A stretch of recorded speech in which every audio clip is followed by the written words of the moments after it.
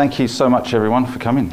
Uh, just by show of hands, anyone using Kafka at the moment, or is this just yes? Okay, most most people, about about like sixty percent. Okay, so uh, I'm a field engineer at Neo4j. My name's Alex, and uh, in a prior life, um, I worked at Confluent, and I always thought these two um, data access patterns were super interesting, even on their own. But when you put them together, I think you can do some really like compelling things uh, by combining um, streams and graph. Um, so that's why I'm here. So when I, when I was at Confluent, I'd always show people, uh, I'd use like the Connect ecosystem and show them Neo4j at the end, and they'd be like, oh, that thing's really cool. So that's how I ended up uh, here, because they seem more interested in the graph than the stream. And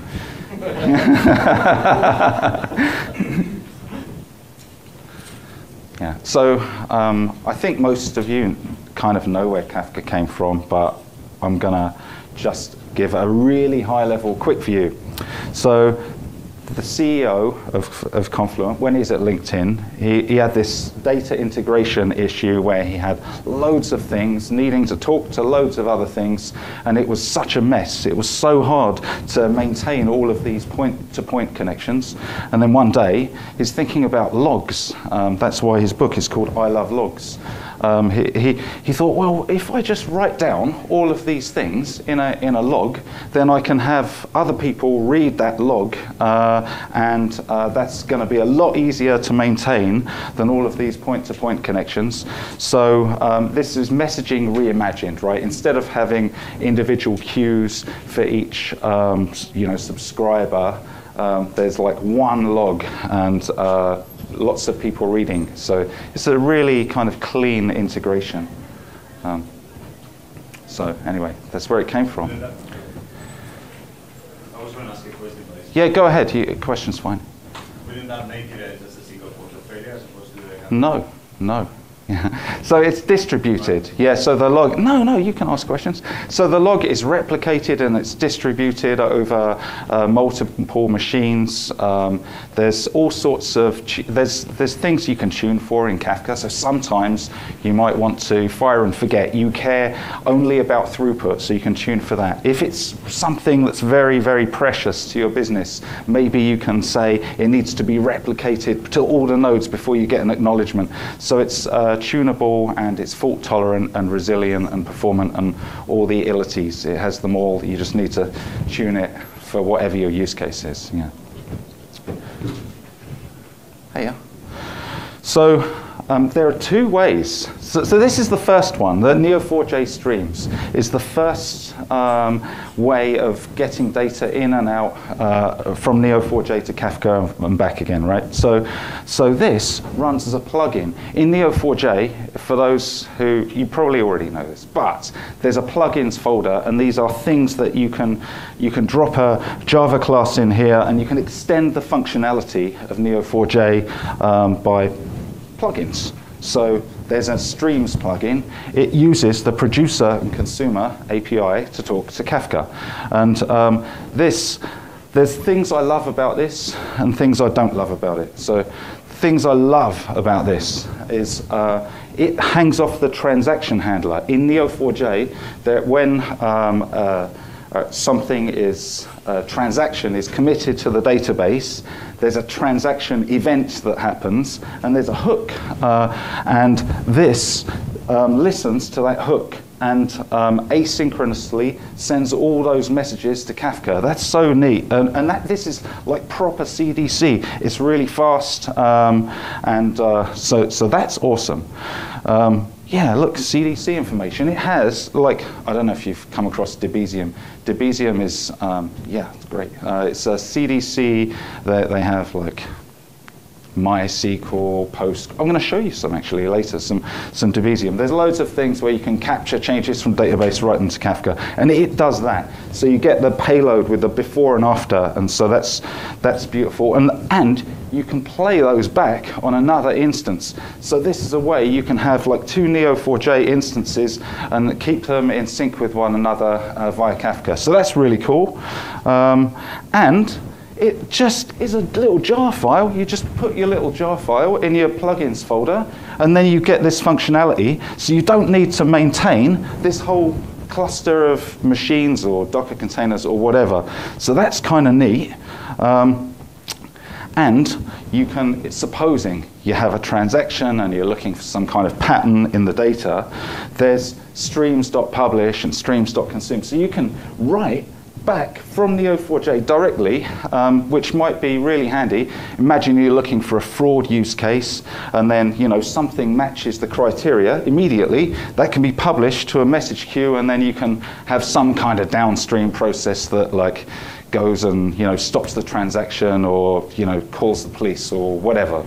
Um, so that's really cool. But the downsides, uh, what I don't love, well, one of them is just being deprecated. Sometimes, yeah, sometimes, and uh, uh, don't quote me on this, uh, but, but sometimes things don't get deprecated when they say they're being deprecated. So if you go to the docs, it says it's being deprecated. That's last I heard. Um, you know, let's see.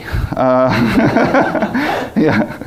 And this is something that um, I wish it, it's fine there's a, an edge case. There's a perfect storm of like things that can go wrong. Um, so if your Kafka goes offline and then the messages are in the producer, it's asynchronous. Those messages are sitting in the producer. Kafka's goes offline for whatever, shouldn't go offline because it's all fault tolerant, but sometimes can happen. Then imagine what happens to your, your Neo4j goes down. The stuff in the producer buffer is just lost. So that sucks.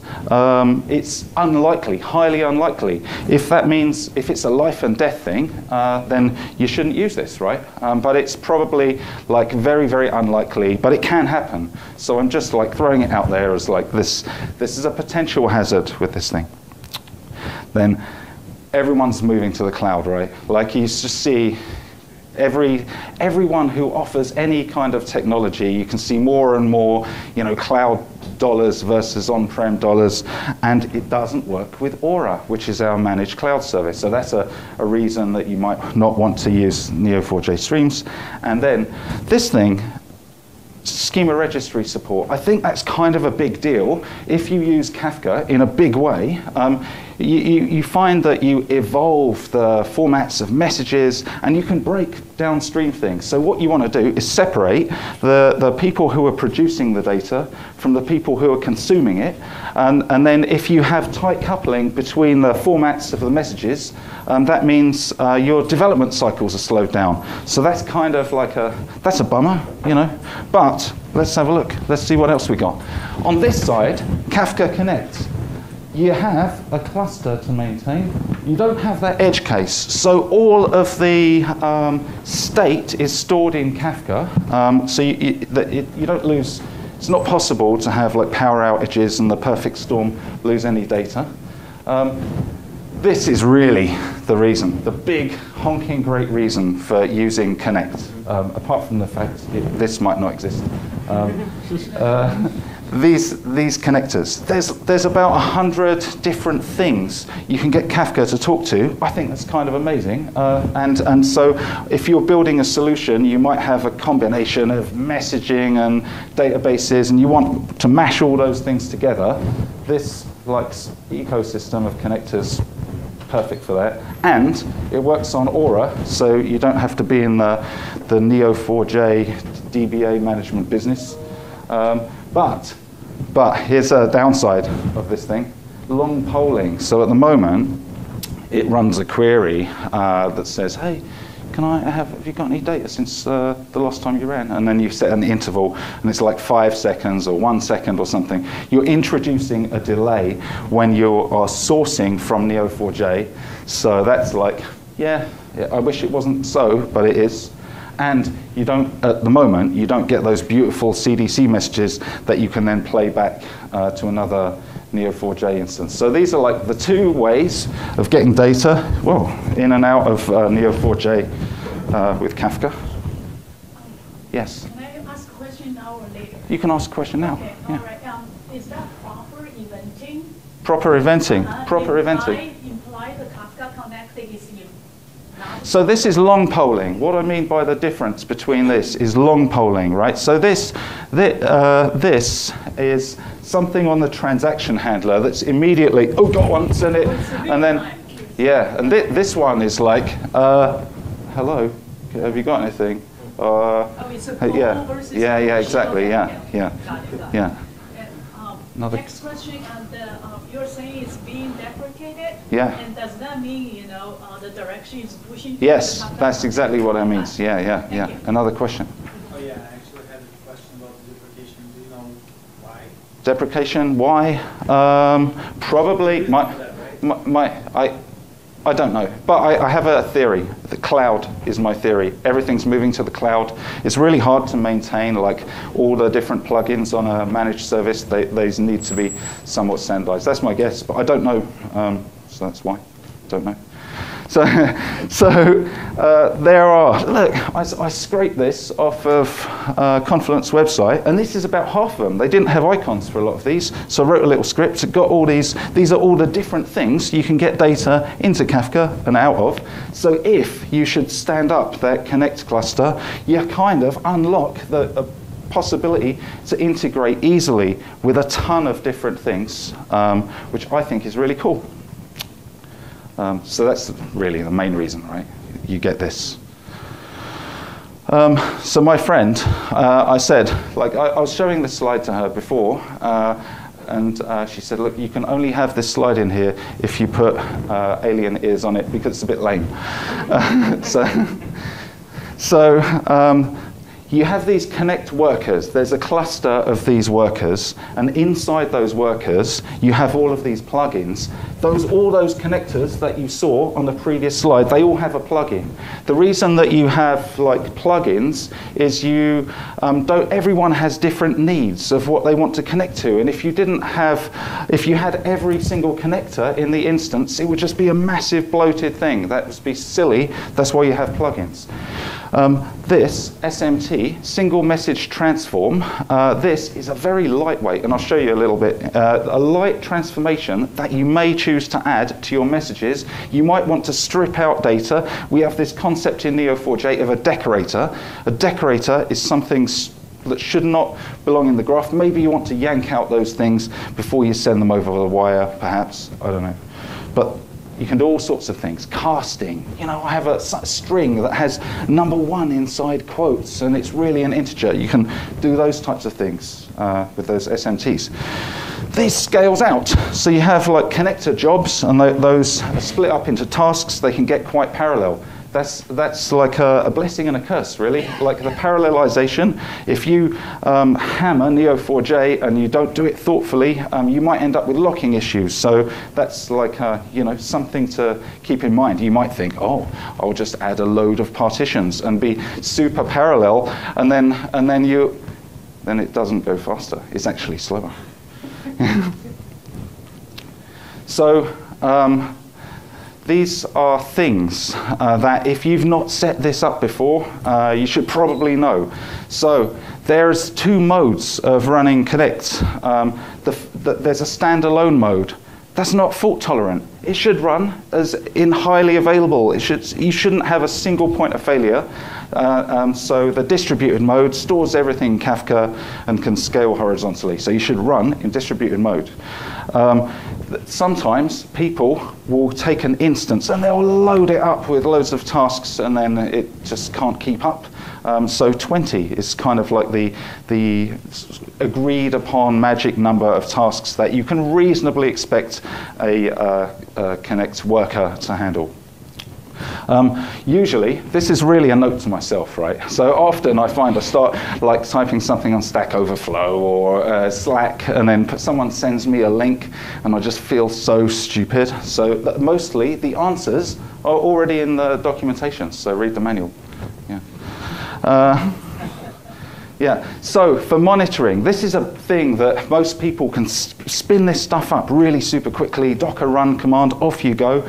But if you're going to run this in production, you have to pay attention to these things. So it's a Java app, JMX, Java Management Extensions. Usually, every company has some kind of way of managing Java based apps, like they might use a New Relic or a Datadog or something like that. So, so whatever you're using, tie that into it. Offsets. So Kafka is a message, you append messages, and, and if you're running behind, that might be important to know. You might set up some kind of monitoring to say, if I'm falling behind, like the messages are showing up faster than I can write them to Neo4j or whatever, let me know because um, you know it's better when you when Datadog calls the, you than your boss sort of thing. So uh, that's why you should monitor offsets. And there is a RESTful endpoint in this where you can pull out the state of all of these connectors and say, you know, like are they all healthy, running? Uh, so, so these are things you should tie into. Um, dead letter queues. So if I try and write a message, maybe I get a malformed piece of JSON or something. I'm trying to write that into uh, Neo4j. It can't. It just throws up, says, I, I don't know what you mean. If you write that to a dead letter queue, rather than just dropping it on the ground or, or stopping altogether, those are the three options, right? I like ignore, uh, just carry on, just don't care, just carry on. Uh, or uh, like stop, uh, you know, uh, you might want the, the nice middle ground, dead letter queue, uh, where I'm going to take that error message, I'm going to put it in the header of the message, so I haven't um, bastardized my message. It's still like intact. It's still got the same key and the value. It's just got a little message in the, the header that says this is why I was unable to write it. Then maybe you can fix something downstream and replay those messages, and you haven't lost anything. So dead letter queues, uh, good thing to have. Um, this is kind of a bummer. You know, we talked about the. I wish uh, we had proper CDC on the Connect. We don't. Um, but if you're if you're sourcing data from other things, don't use JDBC to continually make requests because that's like not really kind to the database. Uh, so so don't do that. If but you have to for Neo4j. Sorry. Uh, and this is a this like is a talk in itself. So when you scale out, you can have loads of tasks writing to Neo4j. Sometimes the, the, it takes a message and um, it might create a Cypher statement that's kind of long and traversing a lot of nodes to make a change to the graph. And then maybe you bounce Neo4j or something, and you get these messages building up in uh, the Kafka topic, and then Neo4j comes back online, and then whoosh, all the parallelization just like hammering it, and then it gets locks, locks, oops, sorry. it gets locks um, all throughout, and then eventually some of the queries fail. So there are strategies to avoid this. Uh, one of them, it, well, First of all, if you did the query tuning uh, course, I thought that was amazing yesterday. So making sure that your Cypher has the lightest touch on the database, think about the modeling, and just like avoid creating a massive amount of locking, add retries. Um, the transactions can get large. There's an unwind statement. Kafka gets uh, batch of records and it will unwind and kind of do a for each. And that's in one transaction. So imagine if your transaction size is like a thousand and then I have some really expensive Cypher statement, it's just going to beat the crap out of the database. You don't want to do that. Make the batch size a bit smaller and think about things like checkpointing, otherwise you're going to blow up the transaction log. So there's like some sharp edges here, but with care you can avoid them. Yeah. Yeah. Okay. So, yeah, I was thinking about this. Like, people get, uh, people who don't know, uh, everybody comes from a relational database, right? Like, uh, and they're like, oh, a table, that's a label, a row is a node. Okay, got it, got it. And then, and then they'll, they'll craft some Cypher statement and, and they'll go to Snowflake or something and they'll use Spark and they'll be like, "Ugh," and then they'll, they'll think, oh, look, I graphed it. Uh, and so, and, and then that someone will say, but why did we do that? I don't know. I don't know why we did that. It, I just had to get the data from there to there and I did it.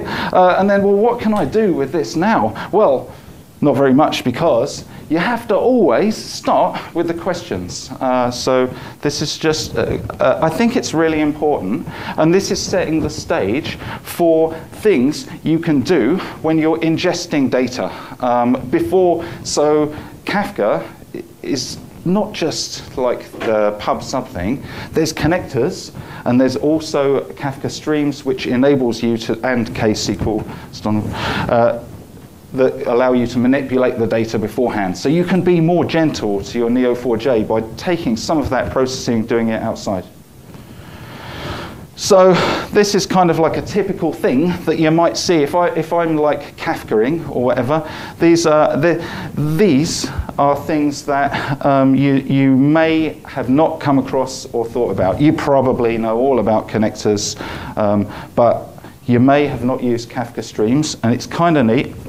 And it gives you all of these um, DSL, domain-specific language, to slice and dice and put windows on data and do filtering and aggregations and joins and do all that, do it outside and have nicely crafted messages. And I'll show you what, an example of something uh, that I did um, using clickstream data. So I thought when I first started working at Neo4j, I was thinking about networks, and I thought, well, a network is a graph, and then I just so happen to live in a house with a network switch in it, and that's a rich source of data. That's got to be way cool. So then I put like a packet analyzer, and I got a tsunami of data like this, and I start throwing it into my graph, and then boof, my disk is fill up, and you know, and then I thought, oh yeah, that Kafka Streams thing, that's what I should have done.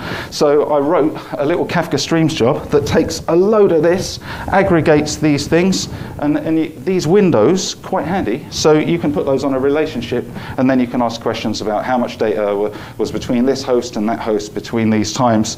But because I did that in the, the Kafka streams, the stateful streaming, uh, you know, I was kinder to my Neo4j uh, database. Yeah. So you're doing some processing in the stream itself. Yeah, Kafka streams. Yeah, so Kafka, you know.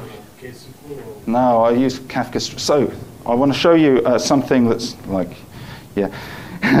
I have a little bit of like ADDness, so I think, oh, oh, I know the answer to that. Yeah, so uh, there's uh, this is the, there's layers of abstraction, right? So it, back in the day, there was just producer consumer, but everyone tried to do those stateful things, and then uh, it was. Um, they thought, look, it, don't reinvent the wheel. Let's just build a layer of abstraction on top of it, and then we can use this. So that's what I'm using right here. And then uh, Donovan is using this thing. I don't love this thing as much, so I just use that thing. Yeah. So back, where were we? Yeah, yeah. So we're back here. No, we're one, one down from here. Okay. Yeah, so windowing, aggregation, uh, do stuff before it hits the graph. Single message transforms, these, these are handy things. We mentioned these a couple of times.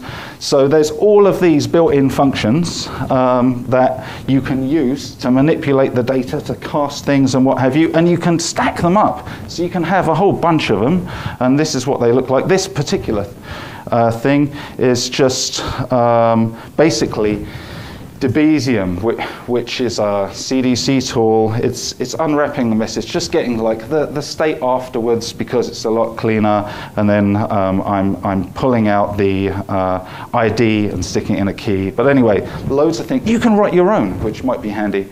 But you have to be a bit careful not to do stateless things. So don't be tempted to integrate with an API or do anything external. It's lightweight, stateless things. You're doing it, um, and I'll, show you where, where you're doing it. You're doing it, that SMT right here. So I'm getting data from somewhere, light, light transformation, and then sending it to Kafka. And then same thing, taking data out of Kafka, little light transformation, send it to Neo4j. Okay. So I'm hoping that somebody in this room uh, is thinking, oh, I want that. Let's, what do I do now? Well, thanks for asking. So we have, you can do this in Docker. Um, so you can create a Docker file, and, but remember, there's that massive ecosystem of connectors.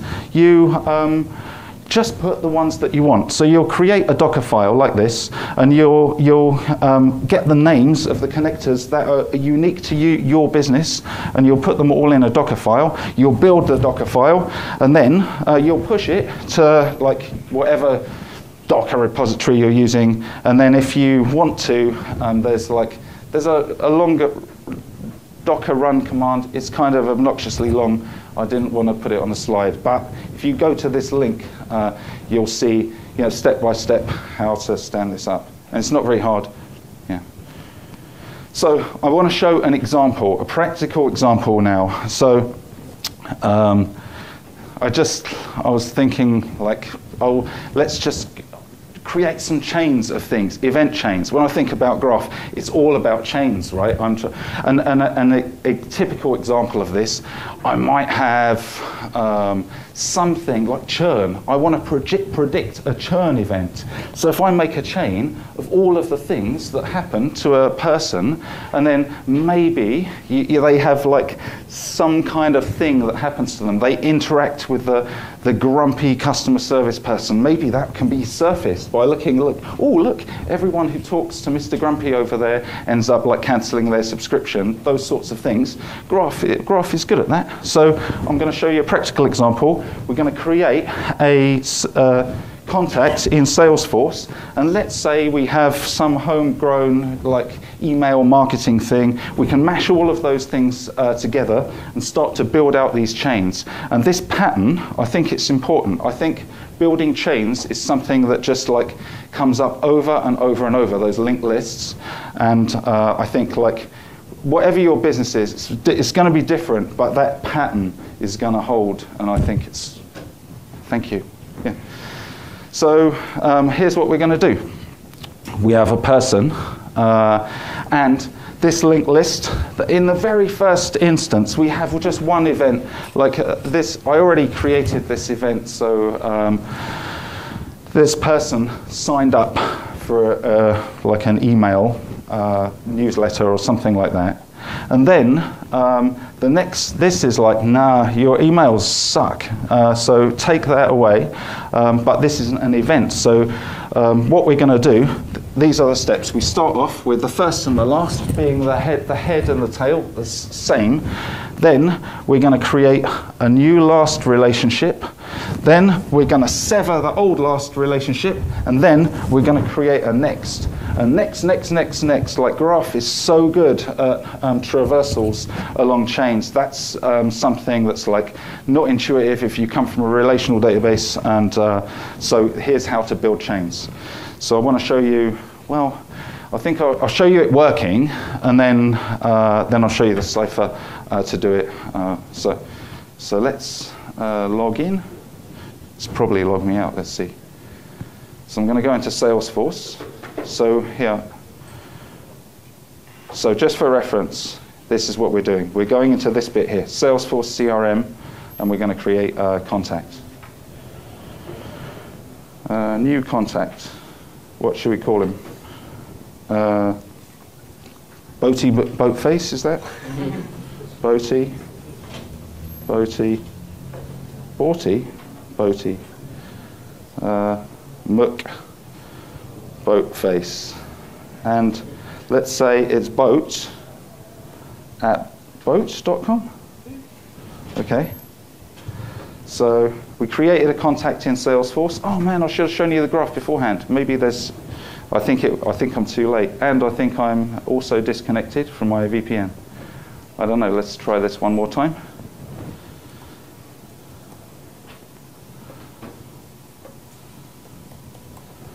this was working like I, just before you came. I, I just uh, yeah. Come on. Okay. Go back to browser. Thank you. All right. It's going to work. Don't worry. You weren't worried. I was terrified. yeah. Uh, so this will take just a moment to update those labels. Uh, match n, return n. Let's see, return n. Oops, n, not m. Anyway, this guy here. So this is our graph at the moment. So what have I got here? Like here's Boaty McBoatface. You can see that the, the, the sales, the CDC has picked it up. It's put it in Kafka. It's yanked out this data. A Cypher statement has been written. It's written it to the graph, and that all happened like it, as the event happened within a like I don't know, few hundred milliseconds, perhaps something like that. So let's say this boaty, boat at boat.com. So okay, let's go off to our email marketing app now. So um, imagine there's a GUI here, something like that. So we're going to add, we're going to sign uh, boat at boat.com. And he signed up. Come on. Yes, he signed up. So now he's subscribed. So that's in uh, MySQL right now. So let's see if it's in Neo4j. Refresh this guy. Oh, look. Okay. His boat is that boat? Yeah, that's boat at boat.com. Now he's uh, signed up to the email. That's great. Yeah. So now, let's say um, he doesn't want that email anymore. Uh, so let's say we'll add uh, an unsubscribe date. So let's say he was like one of our shortest subscribers ever. And uh, he's just, and let's see what happens now. So now we have a first and a last and a next. Is that the right node? Let's see.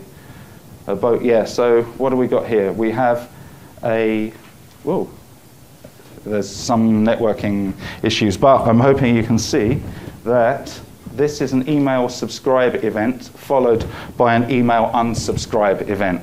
So this is kind of like the what it looks like to integrate all the things uh, in real time and build out those chains, uh, which then you can use uh, for like churn detection and those uh, sorts of things. So uh, I want to show you the Cypher for this. I think I want to give credit to a friend actually, Mark, Mark Quinsland. Hello. Oh, yeah. uh, Mark Quinsland uh, gave me this uh, pattern, and I think it's something I just use all the time. So, so in this, like, obviously I changed the, the, the fiddly details, but the, this pattern. So, you know, find, find the contact, fi create the uh, unsubscribe event, and then add the last. Remember, it was like making the new last, and then check to see if there's a first. If not, create it, and then and then delete the old last and then add the, the next in. So there's like a few steps that it's just like if you just follow this pattern, it's, you, I'm sure you'll find a use for this. Can you show me when you uh, resubscribe it? Resubscribe. Yeah, because I subscribe and then I unsubscribe and now I want to subscribe again. I want to see the three nodes. Oh yeah, yeah. See the three nodes. And Okay. also the relation. All right. Let's see. Let's see. All right. Let's see if we can uh, resubscribe. So I'm gonna try. I mean, I don't actually know what's going to happen. Like, this is not a real app. I don't know if you knew that, but uh, yeah, yeah. Oh man, I can't do it. All right. I'm going to have to write a little. It won't let me delete. What you know? What I'm going to do. I'm just going to create a new boat at boat.com, and is that all right? So we'll add a new record.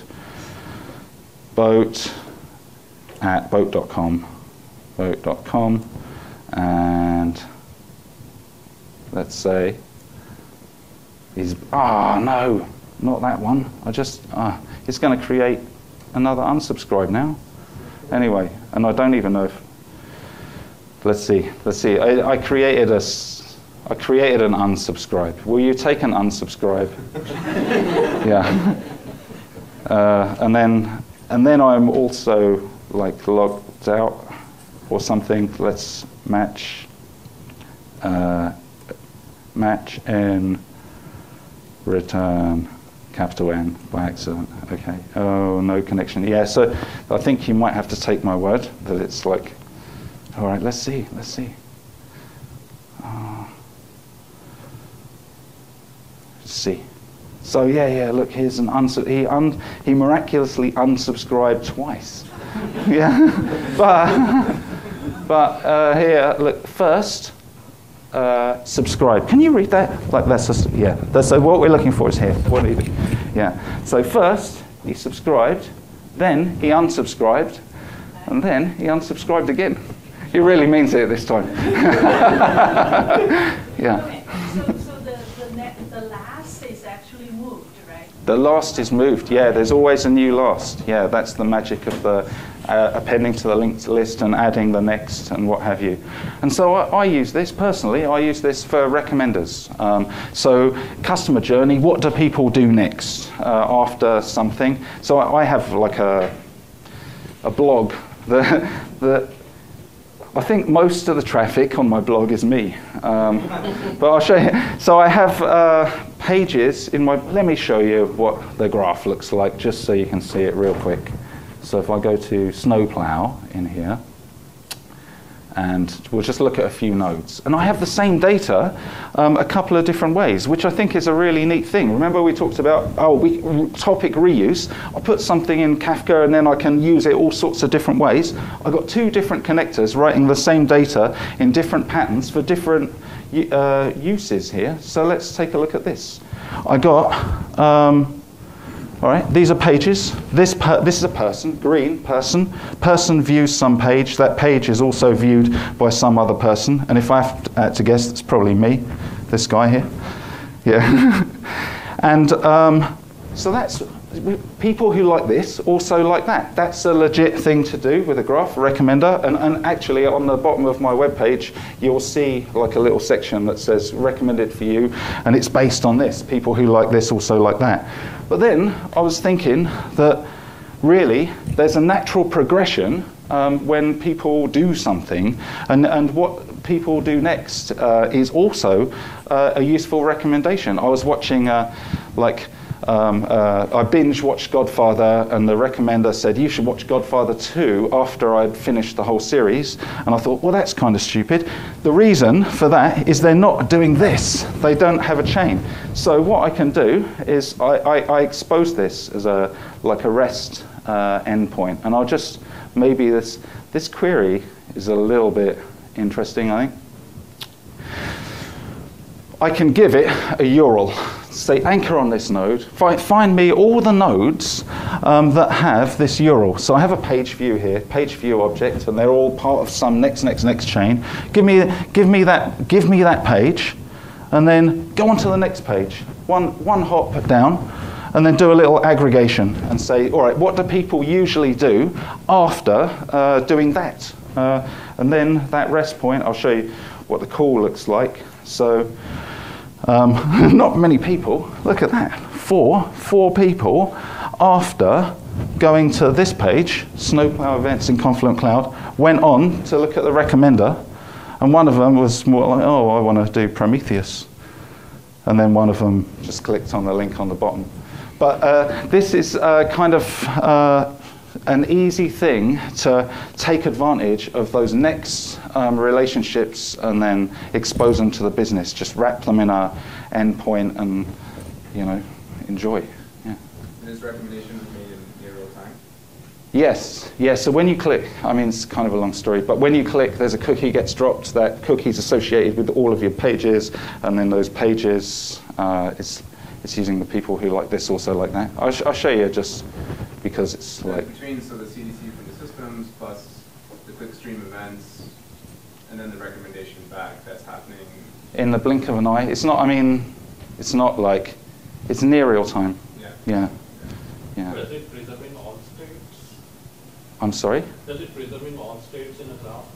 preserving all states. I've been very picky about actually. I don't think you were here. I want to leave you with this one slide because I think it's like uh, I think your question like reminds me a little bit of of this. Uh, so, so I think what I did uh, when I, I decided on the the data that I was going to put in the graph, I, I was very deliberate. Like I only need these three things, and uh, so, so that's I was trying. I, I always try and uh, like never put anything in the graph unless I have like a specific reason uh, for it. Yeah. whether I was saying that even with all those important things that you want to pick, if it is, if it preserves, and I've been thinking little further ahead, I can use some pattern recognitions where I could find like folks that might follow the same states, and I could understand more about that. Oh yeah, I c you mean you can see like